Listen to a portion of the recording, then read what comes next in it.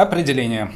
Рассмотрим две функции f и g, которые из натуральных чисел действуют в положительные вещественные числа. Сейчас функции f и g нужно представлять себе как два времени работы алгоритмов, которые на входе n вот действуют f от n, делают f от n шагов и g от n шагов. Мы будем говорить, что функция f растет не быстрее, чем функция g, и писать, что f от n есть o большое от g от n, или вот такой вот f меньше либо равно красивое, чем g, если найдется такая положительная константа c, для которой f от n меньше либо равно, чем c умножить на g от n при всех натуральных n. Другими словами, f от n не больше, чем g от n с точностью до некоторого множителя положительного. Вот простейший пример применения этого правила таков. Мы можем сказать, что 3n в квадрате плюс 5n плюс 2 это o большое от n в квадрате.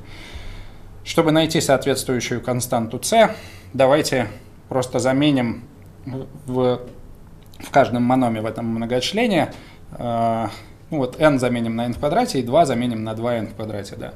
Получится, что 3n в квадрате плюс 5n плюс 2 это, конечно же, меньше либо равно, чем 3n в квадрате плюс 5n в квадрате плюс 2n в квадрате при натуральных n, а это в свою очередь меньше, а это в свою очередь равно 10n в квадрате. Итого мы доказали, что 3n в квадрате плюс 5n плюс 2 всегда меньше либо равно, чем 10n в квадрате.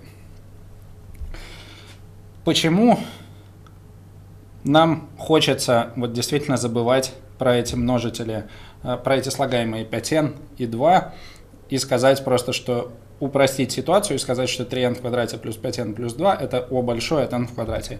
Ну, во-первых, потому что действительно при больших n 3n в квадрате плюс 5n плюс 2 и n в квадрате действительно стремится к тройке. Ну, то есть 3n в квадрате плюс 5n плюс 2 при больших n ведет себя как 3n в квадрате. Все равно, тем не менее, непонятно, почему же мы хотим 3n в квадрате плюс 5n плюс 2 заменить не на 3n в квадрате, а на n в квадрате.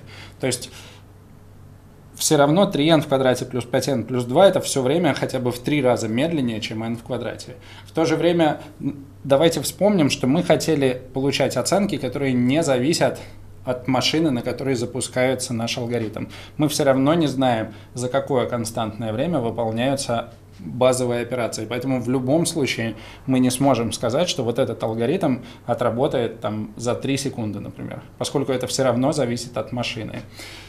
За то, что мы можем сказать, например, что время работы 3n в квадрате плюс 5n плюс 2, оно растет, оно при больших n ведет себя так же, как и 3n в квадрате. А это, в свою очередь, означает, что, например, если у нас наш алгоритм работает на каком-то, при каком-то n примерно секунду, после чего n мы увеличим вдвое, то мы знаем, что время работы увеличится в 4 раза примерно, поскольку скорость роста нашего алгоритма квадратичная. Соответственно, работать будет примерно 4 секунды. То есть вот об этом о большое нам и говорит. Давайте чуть подробнее еще раз обсудим преимущества используемого обозначения, то есть о символике. Итак, преимущества о символике такие. Во-первых, оно характеризует именно зависимость времени работы от размера входных данных. Это то, что я уже сказал.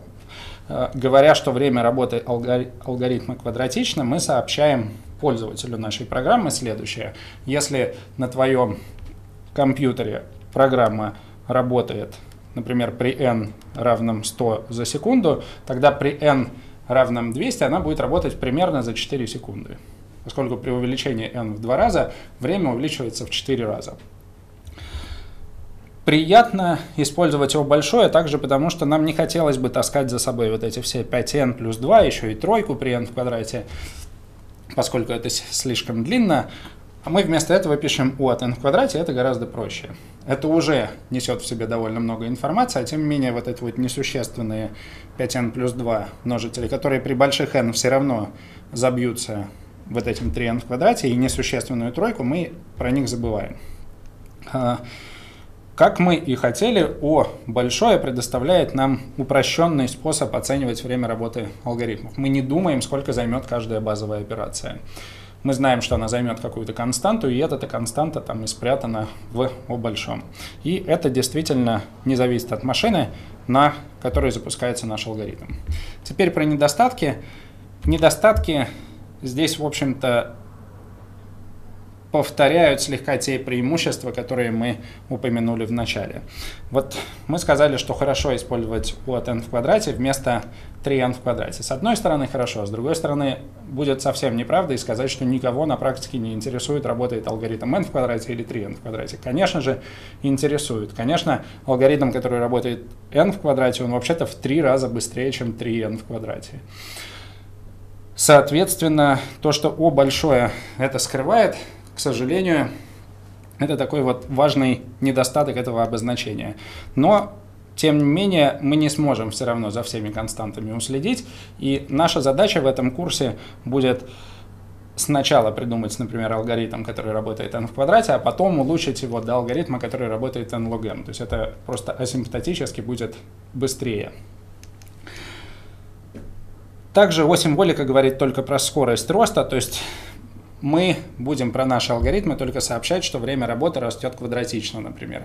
Ну, во-первых, да, мы будем скрывать константы, а во-вторых, возможно, там не просто n в квадрате стоит, а n в квадрате плюс еще какой-нибудь там 250n плюс 100 миллионов, например, которые, мы, которые успешно съедятся под этот, под большой, но на практике они могут оказаться вообще-то довольно важными.